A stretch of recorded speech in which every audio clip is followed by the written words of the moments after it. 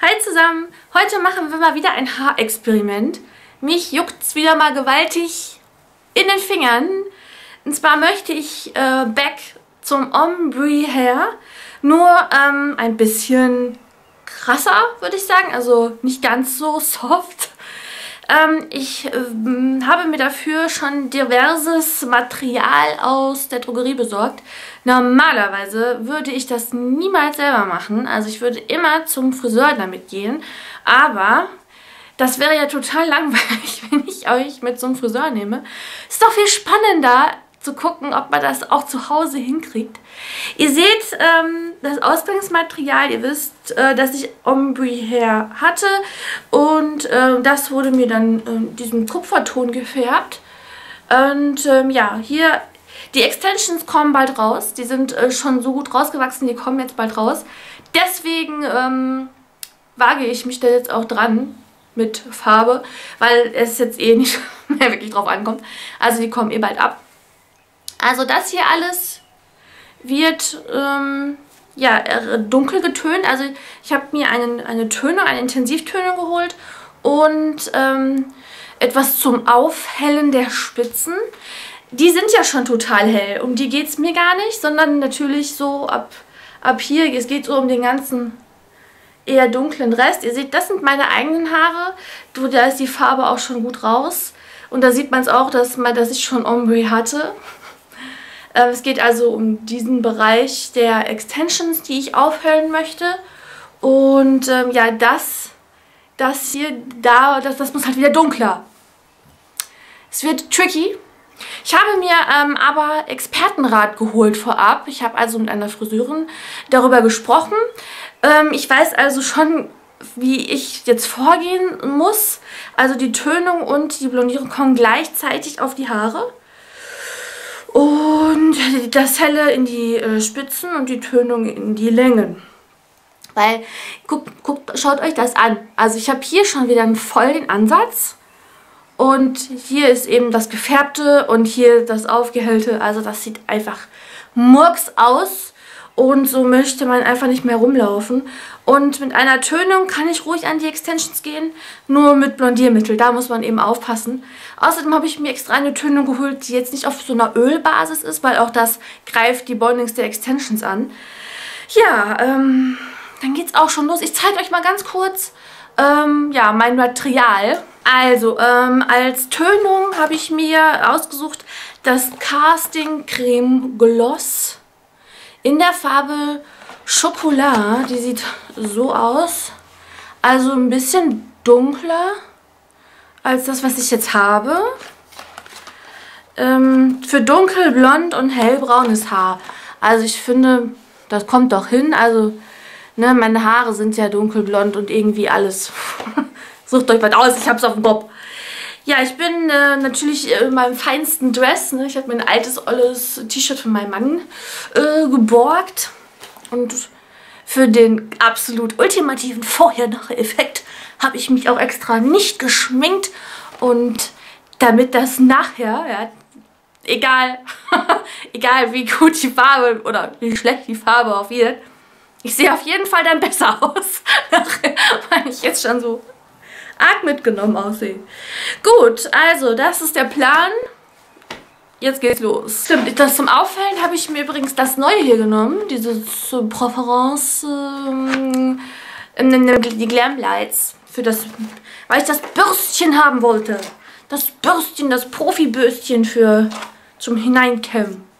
Ja, also deswegen nehme ich das. Das, das zum Auffüllen rühre ich mir wieder hier an. Finde ich irgendwie besser. Und ähm, ja, ich rühre jetzt alles an, ziehe mir Handschuhe über und dann geht's los. Ich habe mir aber schon bei Instagram von euch sagen lassen, also von euch, von diversen, von zwei, einer, einer war ähm, von einer Person, dass die relativ dunkel werden. Sie hatte zwar eine andere Cookie, irgendwas mit Cookie meine ich, und da wurde das fast schwarz. Ähm, ich, vielleicht mache ich dann nur 15 Minuten ich denke, damit das nicht so arg dunkel wird. Weil gerade hier, wo das schon aufgehellt ist, da äh, setzt sich die Farbe natürlich dann richtig gut ab. Ich bin auch noch unschlüssig, wie ich das, ähm, den Aufheller bitte auftrage, ähm, ab welcher Höhe. Denn wenn die Extensions bald rauskommen und ich setze die äh, zu niedrig an und die Extensions kommen raus, kann es sein, dass der Ombre-Effekt wieder weg ist. Also sollte ich den nicht zu, aber ich will den... Ah. Ich orientiere mich so ein bisschen an dem, was ich schon habe, denke ich. Man sieht das ja eigentlich ganz gut. So bis hierhin würde ich sagen, ne? So Kinnhöhe, das Dunklere und dann das hier so aufhellen. Was meint ihr denn? Ah. Gucken wir mal. Also ich mische erstmal an. Ich mische mal an. So, ich habe ähm, gerade nochmal hier das hier überflogen von dem Aufheller. Der soll deutlich länger in den Haaren bleiben. Der soll nämlich 25 bis 45 Minuten. Also das heißt, ich fange erst mit dem Aufheller an und dann die Tönung. Gleichzeitig geht es ja gar nicht. Ne? Dann mache ich das jetzt zuerst. So, alles angemischt und bereit zum Einsatz. Aufheller.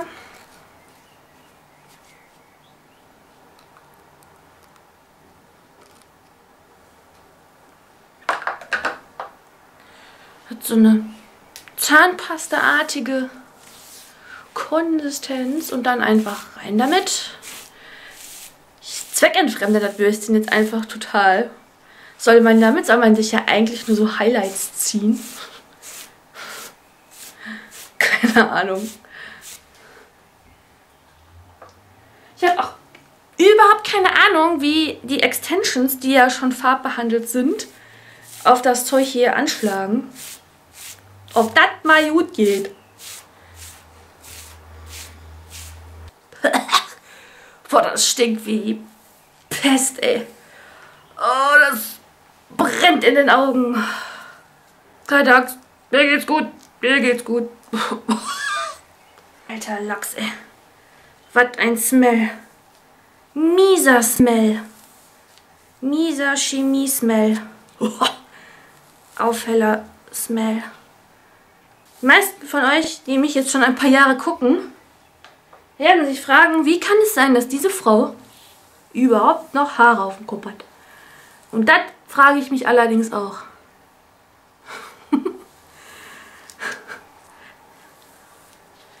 oh. Oh. Ups. Oh, meine Augen drehen schon. Teufelszeug. Okay, ich bin ziemlich nah am Erstickungstod. Meine Augen drehen, ich kriege keine Luft. Aber es ist alles aufgetragen. Ich habe mich wirklich konzentriert. so viel wie möglich so eher in den Spitzen und dann... Ne? Jetzt lasse ich das 20 Minuten einwirken und mache dann den restliche Tönung drauf. Und äh, hoffe, dass ich einen halbwegs gescheiten Übergang hinkriege. Ich ziehe mir jetzt die Handschuhe aus, mache alles sauber. Dann äh, sehen wir uns in 20 Minuten wieder, wenn ich dann die Tönung auftrage. Ähm, so, ich habe den Aufheller jetzt nicht 20, sondern 30 Minuten ähm, einwirken lassen. Ähm, weil ich glaube, dass das schon nötig ist. Und jetzt kommt die ähm, Intensivtönung dran. Also auf jedes. Okay, über das Display funktioniert das nicht wirklich gut. Ich mache das hier über den Spiegel. Und äh, ich zeige euch das gleich, wenn ich das halbwegs aufgetragen habe. Sorry, aber ich kann das hier über das Display echt gar nicht. So, Ladies and Gentlemen, ich habe jetzt die, die Tönung auch aufgetragen.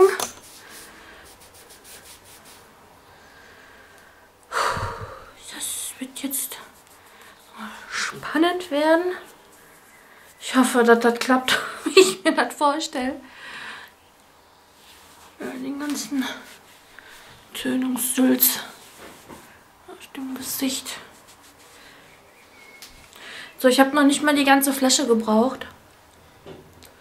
So sieht es jetzt aus. Ich habe das versucht so auch nochmal hier so zu verteilen, damit es halt nicht so blockmäßig aussieht, sondern so einen schönen Übergang, dass es ein, halt diesen Übergang kriegt, wie man sehen kann. Sieht das zumindest jetzt schon mal ganz gut aus, so nass. Jetzt muss die Tönung nochmal 10 Minütchen einwirken. Und dann wasche ich das alles aus und trockne das. Und dann seht ihr das Ergebnis gleich. Und ich bin echt so gespannt. So, fünf Stunden später. So, ich habe den ganzen ähm, Mist ähm, ausgewaschen und mir die Haare gemacht. Ähm, so sieht's aus. Jetzt ist es aber schon mittlerweile 10 Uhr abends. Ich habe angefangen um 16 Uhr. Ähm, und ich, das Licht ist jetzt einfach mal richtig doof. Ich, Moment. Ich das, ja, hier ist es ein bisschen besser. Ähm, ja, wie man sehen kann. Also ich habe die Haartönung, wie ich finde, ähm, ich glaube, nicht lange genug drin gelassen. Ähm, weil ich einfach zu Angst hatte, es wird zu dunkel. So, dann ähm, hatte ich, habt ihr ja gesehen, ne? Ich hatte ich auch hier diese, diese Strähnen, diese ähm, Auffälle-Creme, habe ich mir ja hier so auch reingemacht. Das sah total beknackt aus. Also habe ich mir die Tönung anschließend nochmal ähm, hier auf, drauf gegeben. So, jetzt finde ich aber ähm, den Übergang immer noch irgendwie viel zu unschön. Ich hatte aber keine Tönung mehr. Und dazu kommt, ähm, dass die dunkleren Strähnen von den Extensions, wie seht das, die sind ja so orange geworden. Ne? Das sieht auch mal richtig doof aus. Also, wenn man sich das so wegnimmt, wenn, wenn das orange nicht wäre, ne? So. So, so, wenn das orange nicht wäre, lange Rede, kurzer Sinn. Ich bin nochmal los ähm, in die Drogerie bei uns und habe mir die Tönung nochmal geholt, weil die war einfach auch mal schon mal alle. Jetzt habe ich mir die zweimal nochmal geholt und gebe die jetzt nochmal. Ich finde nämlich, das sieht man nämlich hier auch, mein Ansatz ist immer noch zu sehen. Ich habe es nicht lange genug einwirken lassen. Also ich gebe es jetzt nochmal und diesmal ähm, auch mehr in die Längen. Ich finde das nicht schön, so abgehackt. Also ich gebe das nochmal auf die Längen und auch nochmal komplett ähm, auf dieses Orange. Diese orangenen Strähnchen, damit das so ein bisschen, ja, damit vielleicht viel weniger, nur so vielleicht so die, die Spitzen hell sind. Aber das ist so schwierig, das hinzukriegen, dass es halt nicht so aussieht, ne? dieses abgehackte. Diese Übergänge zu kriegen ist echt schwierig, da muss ich echt gucken. Ein bisschen tricksen mit dem Pinsel, irgendwie so rein streichen mehr oder so, keine Ahnung. Mal gucken, mal gucken. Auf jeden Fall, mache ich das Ganze nochmal. 10 Uhr abends. Supi, ich habe ja sonst nichts Besseres zu tun. Ja, jedenfalls, so sieht das Ergebnis aus. Beim ersten Durchgang. Ich finde es ehrlich gesagt nicht so geil. Deswegen noch alles nochmal von vorne. So, der Morgen danach. Ich habe ohne Scheiß gestern bis 1 Uhr nachts noch rumgezaubert. Das hat so ewig gedauert und insgesamt habe ich drei Packungen von der Haartönung gebraucht. Ähm, ja, also so ist es geworden. Es ist toll geworden. Es ist genauso geworden, wie ich es mir vorgestellt habe. Ähm, es hat nur echt arschlange gedauert und ich musste insgesamt ja, zweimal tönen, damit meine Haare die Farbe annehmen und damit es auch gleichmäßig aussieht. Ähm, hier vorne wollte ich diesen Ombre-Effekt noch lassen. Ach ja. Äh, sieht jetzt nur komisch aus, weil ich auf der Seite das vergessen habe. okay. Ja, aber ansonsten, so in den Haarspitzen und so, ich finde es richtig schön. Es ist nicht mehr orange und es ist ein schönes Blond geworden. Der Übergang ist auch nicht mehr so hart gewesen. Und ähm, ja, also ich bin äh, total zufrieden mit dem Ergebnis. Ich sag mal so, ein Friseur hätte das jetzt auch nicht besser hingekriegt. Ja, also, Mutti ist jetzt schokobraun. Und ja, könnt mir ja mal einen Kommentar da lassen, wie euch das gefällt. Und dann sehen wir uns im nächsten Video, meine Lieben. Bis bald. Tschüss. Oh. Ha, tschüss.